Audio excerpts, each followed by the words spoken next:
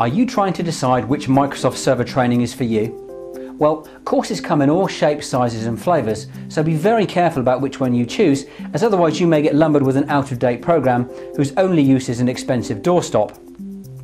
An MCITP Server 2008 or MCSA 2003 course from Learning Lolly can be tailored to suit the exact career track that you're looking to pursue whether you've got years of experience or know absolutely nothing about systems administration, support and implementation, we can help. Perhaps you're already an IT professional who needs to formalise your skill set with a commercial accreditation. If so, you'll be in your element with our flexible, state-of-the-art multimedia learning systems. Or maybe you're just getting started and need a bit of guidance on how to get from a foundation level all the way to your ultimate goal and a new career.